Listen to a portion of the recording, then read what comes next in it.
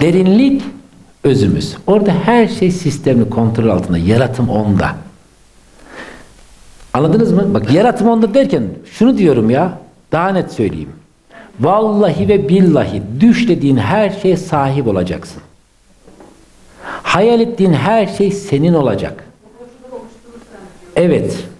O boşluğu oluşturursan araya mesafe giriyor. Ayrıntısına gireceğim. Ne düşünürsek o bizim olacak kesin diye arkadaşlar. İnsan orada sadece şunu ka- kaçırıyor. Şimdi biz zannediyoruz ki arkadaşlar biz kendimiz için düşündüğümüz şeyler bizim başımıza gelir. Yok başkası için düşündüğümüzde bizim başımıza geliyor. Anlatabildim mi arkadaşlar? Bu onun için yalvarır gibi söylüyorum. Lütfen kimseyi yargılamayın. Lütfen hiçbir olayı yargılamayın. Bak neden? Çünkü insan evrenin küçültülmüşü. Doğru mu? Herkes hem fikir mi bu konuda? La evrende hiçbir şey yanlış davranıyor mu? Güneş diyor mu ben bugün dolanmayacağım diye? Dünya ben bugün dönmeyeyim diyor mu? Yıldızlar milyarlarca yıldız hiçbirisi birbirine çarpıyor mu? Evrende her şey müthiş çalışıyor değil mi? E sen de evrenin küçültülmüş olduğun için başına ne geliyorsa gelmesi gerektiği için geldi zaten. Şimdi evrenin küçültülmüşüyüz ya arkadaşlar. Ben neyim şimdi? Mesela böyle beynin yapısının evrenin yapısı aynı olduğunu biliyorsunuz değil mi? Bu çalışma sistemi yani vücudunun çalışma sistemi, evrenin çalışma sistemi aynı olduğunu biliyorsunuz değil mi? Ayrıntıya girmiyorum videoları falan izlemişsinizdir diye. Şimdi ben o zaman evrende vücudumda ne kadar hücre var? Tıpçı mı, sağlıkçı mı, yok mu ya? Ne kadar? 400 milyar falan. 400 milyar falan hücre var vücudumda değil mi? Yani o zaman ben şimdi 400 milyar hücre varsa bir hücrenin küçüklüğünü bir düşünür müsünüz? Gözle görme şansın var mı? Minik minik değil mi? Şimdi peki evrende de ben insan olarak düşündüğüm zaman evrende fark edilme farkım var mı? Fark edilebilir miyim yani? Düşünün yani güne, ya dünya güneşte nokta kadar, güneş samanyolu galaksinin nokta kadar, yüz binlerce galaksi var falan. Fark edilemem bir hücre gibiyim değil mi evrende aslında? Peki şimdi soru şu. Vücuttaki bir hücre diğer hücreyle kavga ediyor mu? Hücrelerin hepsi birbirine hizmet ediyor arkadaşlar. Şöyle söyleyeyim. 400 milyar hücre varsa bir hücre diğer 399 milyar hücre hizmet ediyor. Virgül 399 milyar hücre de o bir hücreye hizmet ediyor. Anladınız mı? Yani müthiş bir vücutta birbirine yaklaşım var değil mi? Müthiş bir yardımlaşma var. Ka- doğru mu? Devam ediyorum şimdi. Çok önemli çok önemli bir yere geldik. Hiç soru sormayın. Hiç, hiç, hiç. Çok güzel bir yerde gidiyoruz. Şimdi biraz sonra alayım abla. Şimdi peki benim bu parmağımda kangren oldu diyelim ki. Vücudun faydası için kangreni kesiyor muyum? Yani bütünün faydası için hücre bazen kendisini feda ediyor değil mi?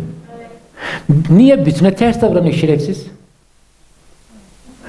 Anladınız mı arkadaşlar? Ben insan olarak doğal ortama, varoluşa, insanlara ters davrandığım zaman bütünlük diyor ki bana atıyorum seni dışarıya. Sevilmeyeceksin artık. Yalnız kalacaksın. Çünkü sen diğer hücrelerin hepsiyle savaşıyorsun. Anladınız mı arkadaşlar? Onun için yargılamamamız çok çok çok önemli. Bir şey olması gerektiği için oluyor. Şerefsizin bir mesela di- direkt olduğu gibi anlatayım mı? Kadının birisi, erkeğin birisi evleniyor. Birisi de zannediyor ki ben evlendiriyorum. Hani hayalleri gerçeğe düşen adamım ya. Biri telefon etti bana gece saat 12 falan. Telefon etti küfür ediyor. Ama yani normal küfür ya sokakta küfür var ya ben sokakta da öyle bir küfür duymadım da. İşte niye böyle bir şey yaptın? Niye yani ben yapmışım gibi. Yani gerçekten yapmadım. Ee, Ben insanın hayatına karışmam yani. Sonra telefonu kapattım ben. Hanımefendi mutfakta morali bozuk. Bunlar niye senden biliyor ya bilmem ne yapıyor falan. Ya dedim ki az, adım az önce yarım saatimizi aldı mı aldı. E dedim şimdi değil mi de mi alsın? Sen çay var mı? Sen çay versene. O sırada arkadaşlar ben o küfrü yemem gerektiği için yiyorum bu kadar. Anladınız mı? Ben demek ki bir gün birisine hakaret ettim, saygısızlık yaptım, hayat intikamını alacaktı. O şerefsizin eliyle aldı işte. O telefonda kapandı mı kapandı, olay bitti mi bitti. Çay kahve var mı ona bakak.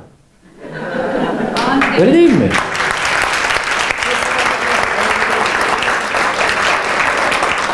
Yani şimdi ben bir arkadaşa diyorum ki bir kitap var bunu mutlaka oku diye bir arkadaşa verdim.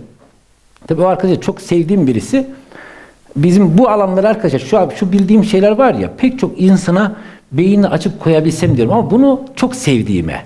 Yani hani e, herkes aklı mesela diyelim diye annem bilse keşke. Bilse ki abim vefat etti ya. Bilse ki o hiçbir şey yoktan var olmaz, vardan yok olmaz. O sadece boyut değiştirdi, form değiştirdi. Ben bunu fark ettikten sonra abime üzülmeyi bıraktım, onu söyleyeyim. Şimdi keşke anneme bunu hissettirebilsin, hissettiremiyorsun. Ben böyle bir insan dedim ki şu kitabı mutlaka oku. O da kitap tabii ki hissel gelişim. Bunlar e, en çok duyduğum cümle şu. Hocam anlattığın doğru ama e, bir de gerçeklik var. Dedim biz hayal aleminden bahsediyoruz sanki. Arkadaşlar gerçekliğe uygun olmayan bir şey söyleme ihtimalim yok. Tek bir derdim vardı. İnsanlar ne düşünürse kendi başına geleceğini tüm insanlara duyurabilmem lazım. O zaman kimse kimse için kötülük düşünmez. Doğru mu? Ben de kendi menfaatim gereği bir şeyler düşündüğümde baktım ki hep duvara çarpıyorum. Ne zaman ki anladım ki sen ne düşünüyorsun o geliyor insanların güzelliğini düşündüğü zaman güzellik sana doğru gelmeye başlıyor. Mesela şimdi beni yakından tanıyan insanlar bilirler ki beni hep çok seviyorum. Ya bir kişiyi çok seviyorum değil, herkesi çok seviyorum. Hatta saygısızlık yapanı da çok seviyorum. Ee, Ya pek çok insan bende şaşırdığı şey niye bu kadar çok seviyor? Adam şerefsiz olsun da şerefsizlik de çok zevkli. Öyle değil mi? Mesela bir yılan var ya yılan ne yapacak? Yılanlık yapacak. Ya bunu ben niye gıcık olayım ki? Adamın görevi o. Öyle değil mi? Şimdi mesela zalimler var değil mi? Adamı zalimlikten dolayı tebrik ediyoruz. İşini başarıyla yapıyor. Görevi o. Öyle değil mi? O benimle alakalı değil ki Allah öyle yaratmış. Bana ne yılanı yılan olarak yaratmış. Evet, onların görevi ya arkadaşlar. Şimdi be- benim yakınımdaki insanın en çok mesela eşimdir. Ya ben bu bu tavrı anlayayım çünkü hani kadınlar birazcık daha tırnaklar savaşacak, sen de ona kötülük yapacaksın falan ya. Şimdi ben hep aynı tarzda gidiyorum ve bence şu an yakınımdaki insanlar şunu fark ediyorlar. Ben aslında insanları çok sevdiğim için insanlar şu an beni az seviyorsa ondan dolayı seviyorlar. Bunu arkadaşlar egosuzca söyleyebilir miyim? Gerçekten hayal mesela ilk tanışıyorum bir insan. Mesela eşim ilk tanıştığımda şey demiştim. Seninle sevgi çetesi kuralım mı? Sonra kimse iyi olmadı. Yani ama işte arkadaşlar o tohumlar şimdi meyve veriyor belki. Ve şimdi hani bu- bulmuşum diye anlatmıyorum şunu anlatmaya çalışıyorum. Bütün hayat, bütün evren bende. Çok zengin olabilirim ama bir engel var. İçimde şerefsiz bir zihin var. O diyor ki havat diyor. O diyor ki onlar batsın diyor. Mesela bir sürü rakiplerim var değil mi? Rakiplerimin güzelliğini istersen ben kazanıyorum. Ama yok o ne biliyor ya? Ona ben ders verdim.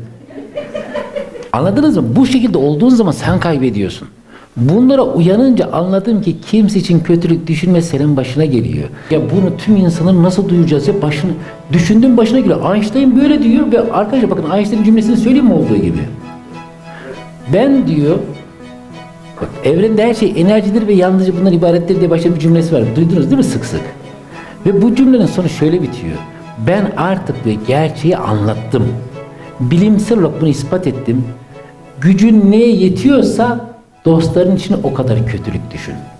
Videomuzu beğenip beğen butonuna bastığınız için, bundan sonra gelecek olağanüstü videolar için abone ol butonuna bastığınız için ve bizi Facebook'tan, Twitter'dan, Instagram'dan takip ettiğiniz için sizlere minnettarım güzel dostlarım. Sevgiyle kalın. Hatta aşk ile kalın.